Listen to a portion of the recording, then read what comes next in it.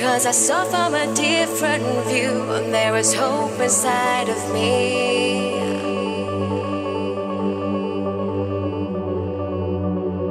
I look to the future now. I can see clearly how my life is gonna be.